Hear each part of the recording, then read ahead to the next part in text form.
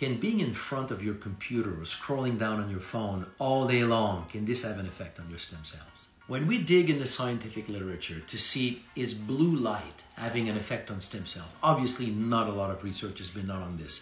But it's very interesting what is coming out because blue light has been shown to support mesenchymal stem cell proliferation and also angiogenesis, which is how stem cells become new blood vessels so that you can help form new blood vessels. At the same time, blue light has been shown to suppress mitochondrial function and also stem cell proliferation in tissues. Now, how does that translate really into a whole human body when you are scrolling down on your phone or standing in front of your computer?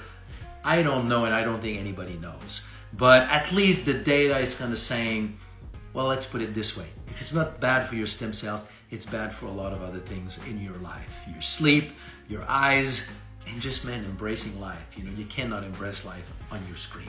So put aside the negative effect that it could have on your stem cells. It's not good for your overall being.